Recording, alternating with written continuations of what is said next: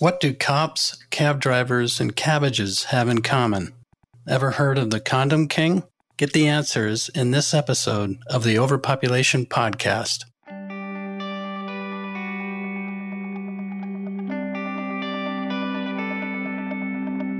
Welcome to the Overpopulation Podcast, where we tirelessly make overshoot and overpopulation common knowledge. That's the first step in right sizing the scale of our human footprint so that it is in balance with life on Earth, enabling all species to thrive. I'm Nandita Bajaj, co host of the podcast and executive director of Population Balance. And I'm Alan Ware, co host of the podcast and researcher with Population Balance, a nonprofit that collaborates with experts and other organizations to educate about the impacts of human overpopulation and overconsumption on the planet, people, and animals. And before we move on to today's guest, we've got some listener feedback. This letter is from Jack from England. He says, Your podcast has truly opened my eyes and ears to pronatalism and parenthood and had a profound impact on my life. Big thanks from across the pond. I think I have binged on episodes 66, 70, and 71 about five times each, so thanks for offering such a great platform for discussion. The societal pressure to procreate was a bit of an issue for me, and I was struggling to navigate these feelings until I found the podcast. With the shocking news from the US these past couple of days, it seems like there is a fair way to go, but hopefully this can become a catalyst for change and growing awareness of population balance. And we have a letter here from Victoria, who's in Germany. Hello, I have just discovered your website through the Overpopulation podcast, which I also recently discovered. I have long seen the connection between overpopulation and the destruction of the natural world and wondered why no one openly discussed this. I am thrilled to find that there are a few who do. Well, thank you for those nice comments, Jack and Victoria. If you have feedback or guest recommendations to share, you can write to us using the contact form on our site, populationbalance.org, or by emailing us at podcast at populationbalance.org. And now, on to our guest interview. Affectionately known in Thailand as Mr. Condom, today's guest, Mechai Viravaidya, is the founder and chair of the Population and Community Development Association. Since 1974, he has initiated community based family planning services, innovative poverty reduction and rural education programs, large scale rural development and environmental programs, as well as groundbreaking HIV AIDS prevention activities throughout Southeast Asia. To ensure financial sustainability for PDA, 16 for profit companies have been established that are affiliated with PDA and are mandated to put funds towards the nonprofit organization. Companies and businesses include the popular Cabbages and Condoms restaurant chain, the Birds and Bees Resort, and a new Cabbages and Condoms Cafe. He has held key positions as Thailand's cabinet spokesman, the Minister of the Office of the Prime Minister, a senator, as well as chairman of several of Thailand's largest government owned enterprises. In 2008, the Bamboo School was established by the Mechai Viravaidya Foundation to be a lifelong learning center for students as well as other citizens and a hub for social and economic advancement. For his efforts in various development endeavors, Mechai Viravaidya has been acclaimed with numerous awards, recognition, and honorary doctoral degrees, as well as the United Nations Gold Peace Medal, one of Asia Week's 20 Great Asians, the United Nations Population Award, and one of Time Magazine's Asian Heroes Award. Mechai and PDA have recently been the recipient of the Bill and Melinda Gates Award for Global Health, the Skoll Awardees for Social Entrepreneurship, and the Prince Mahidol Award for Public Health. And now on to our discussion with Mr. Mechai.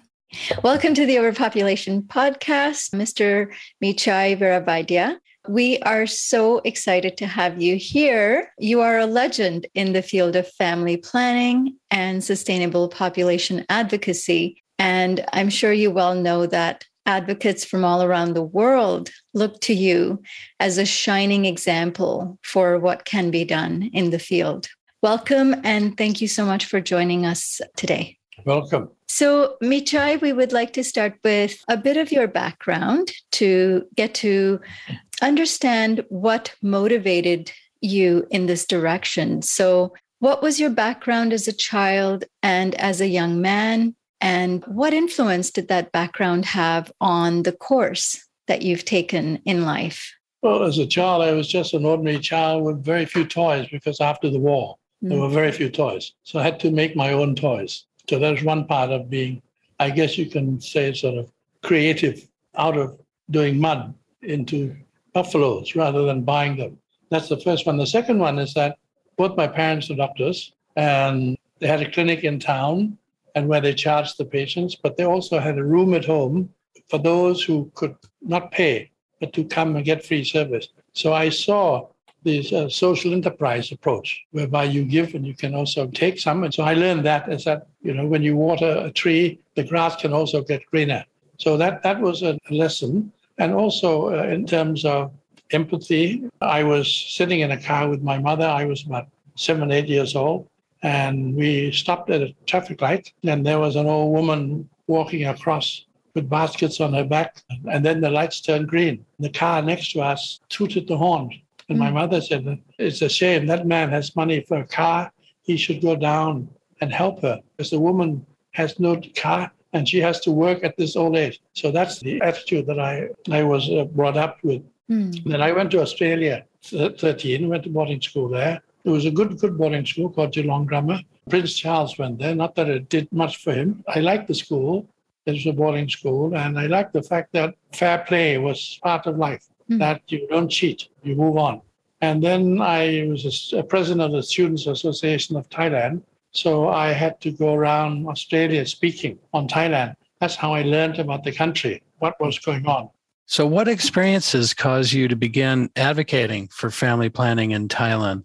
Well, so when I finished my degree in economics and commerce, came back to Thailand and was asked to join the Ministry of Commerce. I visited them and I didn't feel that was what I liked. Uh, I was asked to join an oil company, very high pay, and that did not appeal because my mother said that we didn't send you there to come and work for an oil company then work half the day and play golf the other half.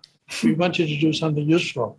And so the, the third one was the National Economic and Social Development Board, which is the planning authority of the whole country. And I knew that I would be able to see my own country. So I applied and got a job there. And I was in the evaluation division. And during that time, I had to travel in many parts of the country to see the progress of the activities going on, be it dams, hospitals, roads, there weren't many social activities going on and report on them. But while out there, I saw children in the villages everywhere. And I wondered, the first one I wondered was that the people had no participation structure in the projects, mm-hmm. despite the fact that it was for them. Second was that children everywhere, and I came back and worked with some people at the university and felt that you know seven kids per family was not at all sustainable. Population growth rate of 3.3% would double every 25 years we just said that we had to do something about it. So in a group, we proposed to the prime minister, and I was in the office of the prime minister, proposed to him, and he said, no, no, go back to your professors and do it again. This five years in a row. And then I realized that university is not a very good ally to mm. change attitude mm. in government. So I went to a, an editor of magazine who later became prime minister and asked him to chair a meeting where all the media people were invited for two days. And after they finished, they, they spent time writing and organizing activities in the media. Mm-hmm. And within six months, the government changed its attitude. So it just shows that you have to use a, a different partner also. You've been very good at gaining trust of local people in these campaigns and not doing a top down approach, but a very much bottom up. And uh, you've noted that big issues from corruption to climate change center around changing people first. What do you mean by that? I felt that for family planning to work, the average person must understand the concept and ask questions, and they need their contemporaries to work with to ask. So that's how I started off the community based distribution of contraceptives, asking the villagers which person in their village would be the most trusted person to supply you with information, contraceptives. And they said it was the local shopkeeper. And before then, I was in, in the National Economic Development Board. I was also asked to teach at Thammasat University because this has happened because they had short supply of university teachers. Mm-hmm. So I did that. In addition to that, I had a newspaper column every Monday on developments. I reported on the development issues, including population, corruption, and so on. And then I had a radio program six nights a week, 9.30. Wow. And then finally I acted in a soap opera as a leading actress for three years. But this is in addition to what I was doing. So I did five things, but I think the most relevant part is that it taught me about communications. It taught me how university worked. Right. It taught me how the civil service works. It taught me how the newspaper works. It taught me how the radio works and taught me how the television works. So I Wow. used the newspaper column for the more uh, intellectually advanced group. Mhm.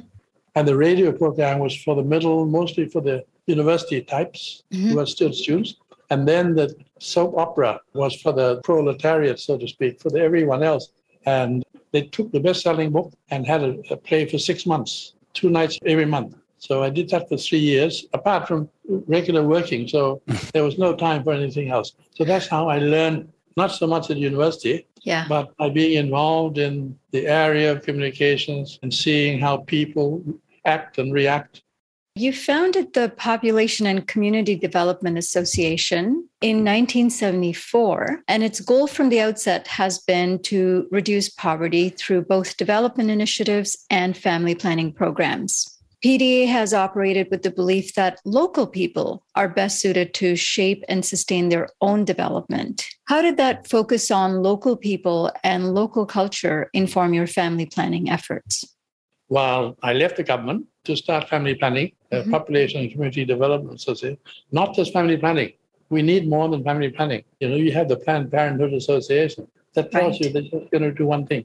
I said, no, that's why we call it our Population and Community Development Association. Right. across the board, we need more than that. So, but we started off with family planning. We also realized that we need new allies. So we were able to train 320,000 rural school teachers Wow. To be involved in family planning. Uh, they could use it in their lessons, whereby it can be in geography, in maths. For instance, if, if a, a farmer has 10 acres of land and has 10 kids, every child has one acre. But if it's Right. five kids, you get more. Two kids, you get more.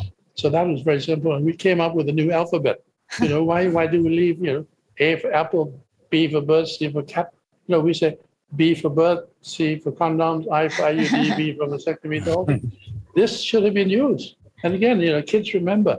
And that's why we attacked the kids. And so we also had a family planning song, and the kids sang these family planning songs after the national anthem when they're meeting at school. So everyone uh, welcomed and worked with us. So in the end, the issue of family planning was accepted. And of course, uh, we had women who were very happy to have their sterilization, but not the men. They were afraid of going to hospital. So the government asked us, can you help to fix that up? So we found out that they were afraid of going to the hospital. Right. Hmm. And so we said, well, we'll have to do vasectomy outside of hospital. So we came up with mobile van, air conditioned, with music for them. And then we went around to all the our distributors who got the women to convince their husbands and bring them in. And then we had a vasectomy. And sometimes we got them to come to Bangkok and we showed them all around Bangkok, the Emerald Buddha temple and so on, followed by a vasectomy. It made it fun, interesting. and we also, for the men, we had our special vasectomy festivals. We had Wow. many days. Hmm. For instance, on the king's birthday, we had the Father's Day vasectomy. People come and we ask children to bring their fathers for vasectomy, and many children did. And we, we also had the Fourth of July vasectomy to help America. In America, we've been helping everyone. We thought we better help America too. And the media from America came out and said, "Why are you doing this?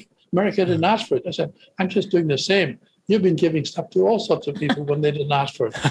So, so that went. And again, we use humor all the way in. Right. And It's very Yeah. difficult to get angry with you when you can laugh at certain things. So basically, we used ordinary approach to it, and it was two way. You must allow the people to participate. And so when, when you're helping the people, we also got them to be involved in helping the, the project or the process. So that was the general activity in family planning. The number of children came down from seven to under two, population growth rate from 3.3 down to 0.4. So That's that worked incredible. You also brought in Buddhist monks as allies early in the campaign. Did it take much work convincing these monks? in the Philippines, the Catholic Church was against family planning. And I mm-hmm. didn't know whether Buddhism was against family planning. So I asked the monks who could not answer the questions. So I got some university people to do research into the Buddhist scriptures. We found many, many positive quotations, uh-huh. the most being many births cause suffering. Therefore, to prevent birth uh-huh. is to prevent suffering. And I made a ah. prayer fan, round one, where they sit in front of prayer, and, and I sent it to all the temple. So when people come to the temple and for a funeral or whatever it is, the monk is saying, chanting a prayer, they see the message, many births cause suffering. So we used that. And the monks didn't mind. And then the villagers said, look, could you go one step further, please? Would it be all right for you to get the monks to bless the contraceptives with holy water? I said, well, well, I didn't know. So I went to, to see a monk in Bangkok and he said, yes. So he came to the office and I was holding a bowl of holy water and he was sprinkling on all the contraceptives. this was sent up country and all the temples around the villages started doing the same thing. So in other words, we got not only the answer that Buddhism was not against it, was for, and we used it. And right. we also went to see the Supreme Patriarch, which is, the, I guess, equivalent to the Pope in Rome. Mm. This is in Buddhism, and asked him to sign a photo of himself to be sent to the country. And he said, We wish the community based family planning service as much success and luck. So then that became very clearly a support from the Supreme Patriarch and religion as a whole. You've used some really creative strategies to destigmatize the use of condoms in Thailand. You used condoms in water balloon blowing competitions. You enlisted taxi drivers in handing out condoms. You even got police to hand out condoms, and that became known as cops and rubbers. You, in fact, came to be known as the condom king of Thailand and condoms became known as mechais. You were able to use humor in a family planning campaign to a degree that no one had ever done before. What sparked the creativity and humor that you used in these condom campaigns? We had for five years trained 320,000 school teachers, and kids wow. were blowing condoms in school, in relay races, using condoms and so on. So it became a very natural thing. We even had blowing condoms in temples and in, in mosques. So, you know, we showed respect, but we went ahead. So those were the things we did. And the other one is that I did not argue with people. In the beginning, we had some mm. diamond fingered ladies who are the upper part of society who think that they think for society. And they said, Mechai, you are corrupting the youth by doing all of this. Right. And I said, Look, I don't think so. Hmm. Please advise me. So mm-hmm. I went to them and got them to feel that they're the boss. And I went back and did exactly the same thing, and they didn't do anything to me. So the whole idea is don't clash, join, apologize, and continue mm-hmm. doing it. In we call it a Cops and Rubbers program. right. Didn't you also have a restaurant, or do you still have that yes, restaurant? Yes, restaurant for cabbages and condoms, where you come and you see condoms all over decorations, and uh, we have even a condom salad. But some people come along and say, I have a friend could you put in some real condoms just for this evening? so it became a, a, relaxed part. Yeah. And so people from around the world came. They couldn't believe their eyes, took pictures, sent to their friends. So yes. it became a very well known restaurant and helped to earn money as a social enterprise right. for the PDA.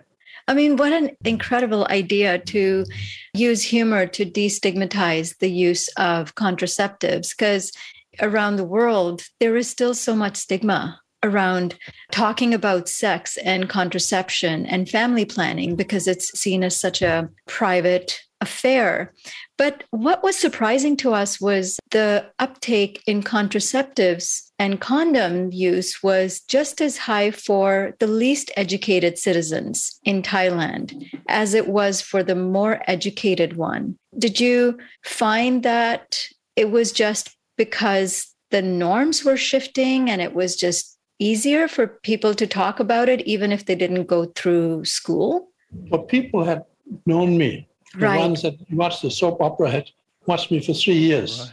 Right. Okay. As a leading right. actor, very nice person always. So that so helps. The, the, role in the television helped. So they knew me. There was no unknown quality about me. That was why they felt relaxed about it. And I didn't uh, argue with anybody. yeah, that's amazing. Your all your experience in those institutions, the media, university, newspaper, TV, and then you were able to work laterally with school teachers and village people. That's quite a unique combination of abilities that you developed. Can you give us some idea of the AIDS problem in Thailand uh, at the beginning and how you went about addressing that? When AIDS came along, what we had done in family planning was used to push this. And I got some money from Rockefeller mm-hmm. to print at cost uh, video tapes and so on, and cassette tapes radio. Went to see the minister in charge of broadcasting and said, no, it would ruin tourism. Oh, wow. So obviously, our philosophy was take no as a question, never no as an answer. And think outside the box, not only the box, think outside the fence as well, and make sure you're sustainable. So I went to see the commander in chief of the army. He's far more powerful than the minister of broadcasting. And I said to him, here's the situation of HIV infection in Thailand. Your soldiers are being infected. Men of age 19 to 21, which is military recruitment age, they're being infected all over, 14% in certain parts of the countries. We will continue to expand because nobody understood it. We mm-hmm. need help. We need to create understanding because there was no cure. And he was quite quite taken back and he said, Okay, what can I do to help? I said, I'd like to wire 300 radio stations and two television networks. And I provided the software funded by Rockefeller. It's probably the best money they've ever spent on all radio stations. It went into Laos and Cambodia also. So people wow. heard about it the first time. And soon after that, we had a new prime minister, and he asked me to join his cabinet. And I was the architect, and I asked him to be the chairman of the National AIDS Committee this is total war. Minister of Health was never strong enough. So I became the deputy, and the Minister of Health was the other deputy. And so we worked along together, and public information was removed from the Ministry of Health and given to the Public Relations Department of the Office of Prime Minister to be really wow. strong. Because health people have never been very strong at getting the message across. That's why we have so many sick people. Right. And so your communications strategy that you learned from all of these extracurricular activities is really what ended up helping in the end. Yeah, we went further than that. For instance, we had policemen, I already told you. We, had, mm-hmm. we trained the teachers again, but we also went to the university and asked the university students mm-hmm. for, to join. We trained them and asked them to go back to their old school and train their younger brothers and sisters. Mm-hmm. And the upper high school trained the junior high school, and the junior high school trained the primary school kids. And one day, at the end of it all, every single primary school student had a packet of AIDS information and condoms mm. that they gave out to every household, every household in the whole country. Wow. So we said it was total war and we had to act it. And there yeah. was an increase of 50 fold in the budget of AIDS that was given to mm. all the ministries. Even the, the, judges had to be trained because when they're in court, they have to mention something about AIDS mm. just to save life. So that, that was what happened also. And so the university was very, very helpful. And the students from the university went out and taught this in the schools. Some parents said to me, Micha, you're doing this, you're corrupting the youth. Let me give you an example. When your child is about 22, there will be two possible events, and both of them have flowers. One is at the graduation of your child at the university. Mm. Second is at the funeral of your child. There's also mm. flowers. You choose. Mm-hmm. and there was powerful. no cure. Yeah. No right. And we then had a, in family planning, sorry, let me jump back. The villagers said, you know, we came up with a slogan, many children make you poor. When they had few children, we said, we, it doesn't make us rich either. so can, we need to do development. So I got some money and started off a, the uh, village microcredit plan. We call it the non-pregnancy agricultural credit. And the villagers said that only women who were not pregnant can borrow because we don't have enough money for everyone. Oh, wow. And, and if you borrow, you get raise two pigs at a time twice a year. Or if you have not pregnant for two years, you get three pigs to raise at a time, six pigs. And you do it in three years, four years, you have eight pigs. And then we form a cooperative for you. So, mm. in other hmm. words, it went on from family planning to that. And then, then the microcredit expanded into what we call the Village Development Bank, which is a microcredit operated by villages. And were you trying to encourage birth spacing when you said if you oh, don't? sure, sure. We asked them, you know, do you got all the children do you have? No. I said, what are we going to do? We don't yeah. know what to do. I said, ah, I have a method, a pill Hmm. that can space your child just like your coconut trees. Mhm. We didn't say them to stop, but Right. what happened is that maternal child health was improved so that survival of the child was strong. So if you Yes. had very low survival of the child, forget about family planning. Yeah. It's going to be maternal child health program. So that went parallel. And so that they realized that the children that they have will survive. So you don't have to have eight people. Like, Yeah. for instance, my father's family, he had eight brothers and sisters. Five died, only three left. Hmm. But today, that's not the case. So that Right. helped us a lot. And even with your AIDS advocacy work, your efforts were so successful that the World Bank estimated that there were over 7 million additional HIV cases that were prevented from Prevented. happening. And the UNAIDS said Ah. there was, during the 12 years beginning in 1990, 12 years since, many governments, the number of new infections fell by 90%, 90%. Hmm. That was UNAIDS.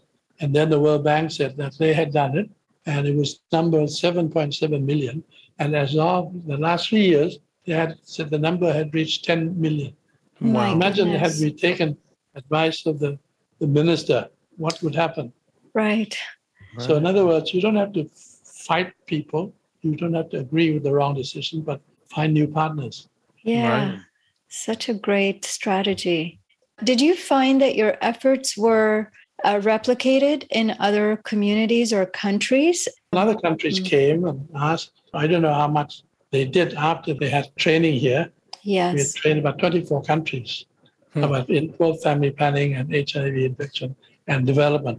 And what we also did after the family planning and AIDS, we also introduced a social enterprise for NGOs to also have a business arm Hmm. whereby we have two types of business arms. One is where it's maximization of profit. We work with those who have lots of cash. And the other one is optimization, where we work with those who have little cash, poor. And so we use the maximization profits, like our restaurant, to help fund activities in the villages. We also Right. help to set up in partnership with companies. So the next one was the reducing poverty by partnering with the companies. The government does, doesn't know how to make money; they only know how to take money. So Right. if you get go to government, it's guaranteed failure. So I went to the business sector who know how to make money, who have spare money, and asked them to join in to partner with the poor village. So we had lots of them joining in, and any money that was to be spent was to be spent on building up a microcredit loan fund to be sustainable. So for every three dollars, they planted a tree. So it wasn't that the villagers took it for granted. They also contributed the trees. Oh. And so from the giver, the company, you have the tree, and then you have the microcredit loan fund, and it's still going on. The trees are still alive today. Microcredit loan fund is still going on today. So hmm. the companies felt and the giver felt good about it because it's just not going out because people who are in the business like to see money grow. Yes. They don't like to see money disappear like when you give it to the Red Cross. Right. So, so, so that was was an important one. So we got in the in each village we had the village bank operated by gender specific, half women at least, Mhm. to be on the committee to do all the lending, and Mhm. those are still going on today. Some have grown a lot, and so the social enterprise helps the villages to borrow money to earn a business and to grow. As if your family planning and AIDS successes weren't enough, you then went on to create a major educational innovation program with your Mechai Bamboo School. Could you describe what those schools are and what motivated you to start them? Well, uh, we decided that education was now the final one because Hmm. you know, you've got to stop the births, stop the deaths, try to stop the poverty. But for it to really work is to go to the school and use the school as a platform for social and economic advancement in villages surrounding the school. Right. And that's what we've done.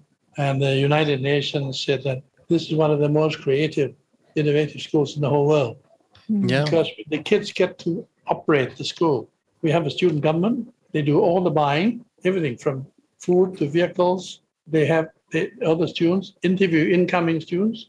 They also interview applying teachers, and they also evaluate the teachers. Yeah, that's amazing. How do you go about creating young people who are so competent? we train them, we let them see what's good, what's wrong, what's right. Yeah. And uh, generate, we've now had 12 years of it, and many have gone ahead and done, done extremely well. So when they apply to university, people notice and they're very, very mature. And people also, they're very polite and they're always on time, they work hard. And we at the school, we have a bridge which is over a small canal and opposite the clubhouse. Whenever they walk by, they must say good morning or good afternoon or good evening. It's called the sort of welcome bridge. So that if they meet you five times a day, it's five good morning and good afternoon. so it's not just once, it's a continuous. And so that we pay the school fees in community service and tree planting because we Oh, want to wow. raise the level of goodness. At the moment, money is everything.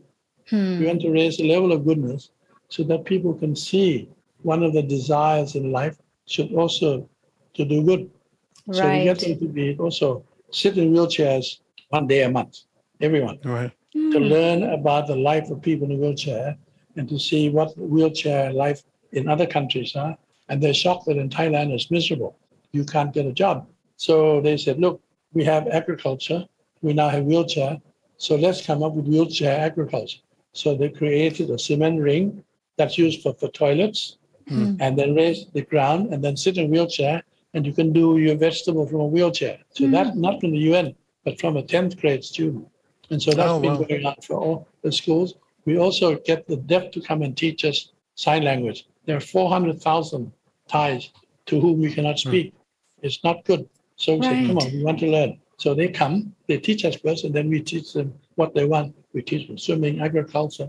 And now we've helped these students to have a farm, to have loan fund to do agriculture. They're making money. Then they finish grade 12. They can grow vegetables at home. We're Hmm. now doing also um, tissue culture laboratory with them so that this can be more sophisticated. And the other one that is interesting is that these deaf students and wheelchair bound students are training elderly people to grow vegetables. So it's income security and food security for the elderly by students, including children who have difficulties in hearing and in walking. In other words, we turn it around. These are the people who usually get given help. No, we get them to do the helping, you know, to try and turn it around. Right. Hmm. And do your students come back to you and thank you for the the kindness and caring that you helped instill in them, like the wheelchair and skipping a meal? Don't they skip a meal every week? Yeah, yeah, that's right. We, we, we limit the telephone use to one hour per That's impressive. week uh, because the telephone uses by kids is for fun, not for education. Even Yeah. France now has outlawed mobile telephones in school. well, But anyway, and then to learn about hunger, you cannot learn from a book. You cannot learn from a video. You have to learn from being hungry. So on a Right. Saturday evening, after you've had your mobile telephone, you do not eat. And then realize that, wow, yeah. this is how people who are hungry feel. So we Mm. must try to do everything we can not to make them hungry. Right. Yeah, it's such an impressive the empathy, the kindness combined with the decision making, democratic uh, being a citizen of the school and making all these And they responsible go to, decisions. they, every Wednesday, they go out to the villages. We have 16 villages surrounding the school. oh, At the moment, the main one is to help food security and income security for the elderly. And they're working in partnership with grandchildren so that the grandchildren will eventually, maybe when they finish school, to wish to stay home. At the moment, we have 6 million kids whom I call temporary orphans. Hmm. Their parents in town because they finished school, they didn't have any skill at all. So they went to sell their labor in the factory in town. And then before long, they send their children, the babies, home to grandparents. But that's not the best way Mm. uh, Right. to, to raise a child.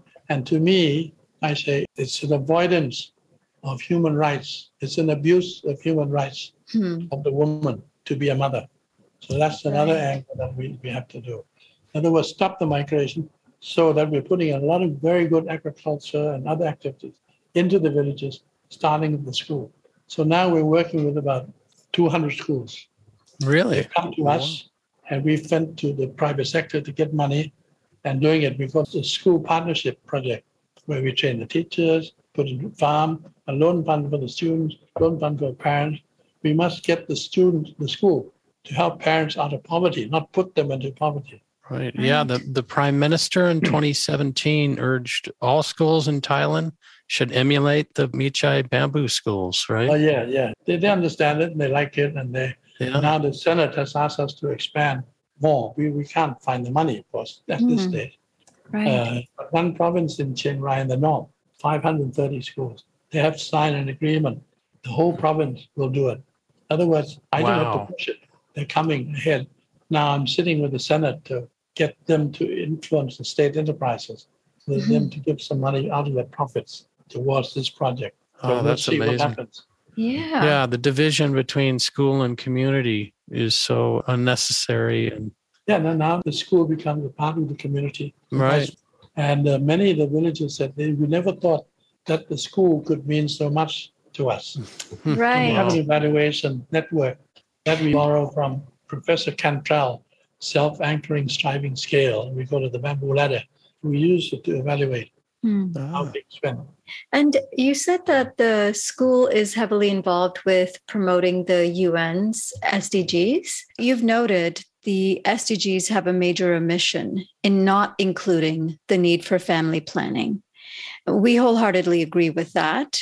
Have you had any conversations with the people at the UN or other organizations about this? You we know, were the- doing it already. We didn't Yeah. know you in at SDG. right, right. And then when they said, ah, yes. and so they celebrated UN Day at our school. They, then What an honor. us to bring 16 schools in to sign an agreement they call the compact Hmm. between UN and, and 16 schools. I didn't get the director of the school, but the students to sign the agreement with the UN. And so now we're going on with that. But we said that 17 is not enough. So we need four more. In Yeah. Thailand, we've added Oh. one, no corruption. Since good corruption, money is not going to get down there. Right. Two, the sense of sharing, Hmm. so that if people who have have to share by knowledge or money. The third, rule of law. You must obey the rules, obey the law. And the Hmm. final one is that family security, family welfare, and family planning. You have to help your family. Forget about the government. The government can support, but not much. So you have to be the main one. Otherwise, we sit back and say it's the government's job.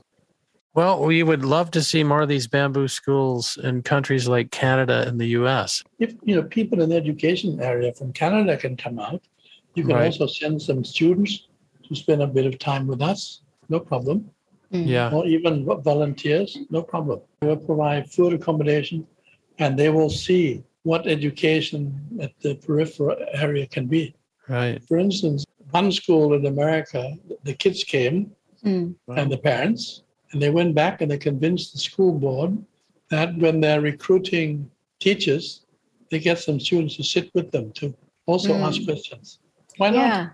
Yeah. I'm trying to get every government department and every company to have a youth advisory committee. Get tomorrow's leaders to start giving ideas today rather Yeah. than listening to old people's ideas. Yeah. So Yeah. using Right. young people. Every government department needs them. Yeah. The young people don't get taken seriously and then they Hmm. respond accordingly. they're not uh, taking on responsibility because they're not trusted with it. And you have a great history of trusting people at all levels of society and ages and occupations to take matters into their own hands, and make decisions for themselves. India and then when people outside say so. For instance, they interview for university. They also interview the lecturers. At, the interviewing them said, "Look, Hmm. if I'm to spend four years at this university, I need to find out more about the university and, and more about the professors and lecturers at the university. They Yeah. ask. And environmentally, you've been, well, planting trees, right, as part of what the kids Yeah, they do, for their tuition. do- the family together must do 800 hours mm. a year and plant 800 trees. Wow. So in other words, by the time they finish from grade seven to grade 12, they have 5,000 trees planted. Oh, And you said that's in lieu of a tuition, right? They don't pay a fee, but they do community service Yeah, that's, instead. that's the school fees by Yeah. doing good. what a Because other what a schools, model. the school fees you pay, that doesn't do any good to society. and what are the major environmental problems in Thailand, would you say? Oh, yeah, well, you know, Thailand has in early days cut down the forests, trees, Okay. and Bangkok, and now they're much more aware of it. Okay. And so they're burning of the rice fields after harvest Uh, is being reduced very severely. these trees are much needed. The trees they're Yeah, planting. yeah. And that's why we get people to plant trees. And in many schools, we hope to get a child to plant one for every birthday in the family. Ah, okay. And I notice your agriculture, you do it with limited land, or they're doing it in Yeah. pots. It looks like. And we Small used to pond. create our land, use little water, little land, and little labor. It's very good for elderly people. Yeah, right. If you're growing rice, you get five baht per square meter of income, which is five baht is 25 cents Okay. US. per square meter. Hmm. But if you do bean sprouts, you get 20,000 baht per square meter per year. 20,000 baht. Wow. Gosh. So in other words, we should get them to understand that when you're growing something, use arithmetic in the school, how much per square meter. Right. Growing this vegetable, this vegetable, this. Think before you plant rather than just plant Yeah. Yeah, the science and math that the students can apply at the same to time. growing Yeah. things. Yeah. And benefiting the community. We want to make the lessons more interesting because I was always very bored with dull teachers. So I said, well, let's make it more interesting. yeah. And you said the students also work with the elderly in the schools in this kind of symbiotic We bring, we relationship. bring the elderly in, Mhm. we use the school as their clubhouse. Call Okay. it, it's their country club.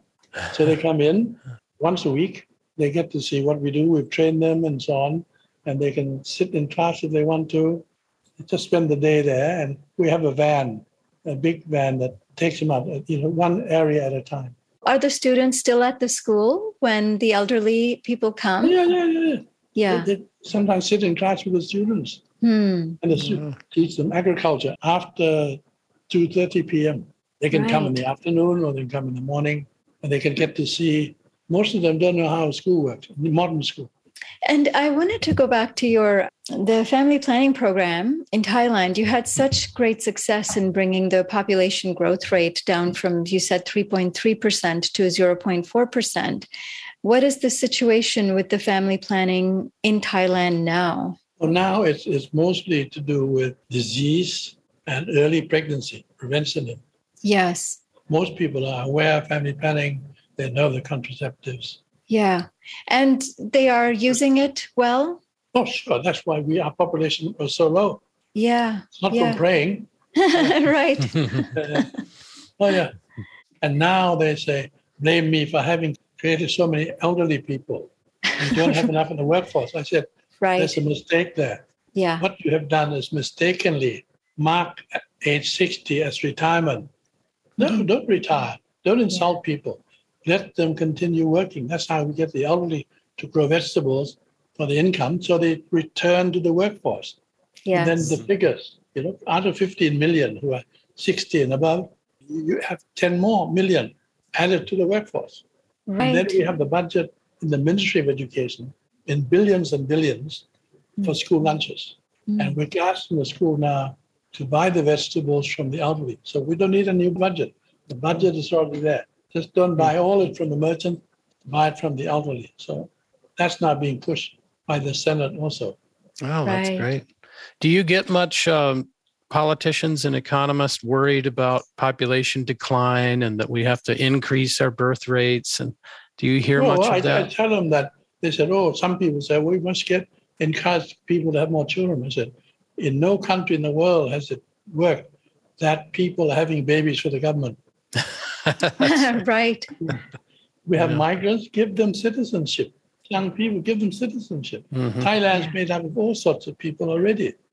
So in other words, we don't have such a large number of people who are elderly. Just Yeah. don't, Right. so don't count at 60, count at 70. Yeah. Yeah. And do you think they might adopt a program like yours? Oh, I Wha- believe so because the Senate's taking it up very seriously Oh, great. I'm going to push for it because we have the budget already, billions and billions for school lunches. Wow. We have 32,000 schools. Mhm. Wow. Mhm. 320 billion for school lunch. So just use it to buy some of it from Yeah. the elderly. You've solved the problem. Yeah. Right. And it's not done by the Ministry of Social Welfare, but done by the Ministry of Education. So I'm trying to ask every government department and, and organization, whatever you want to do, please do it through the school. Yes. Uh, the school has building, has land, has water, electricity, has teachers, has community, and they'll be your partners. No better partner.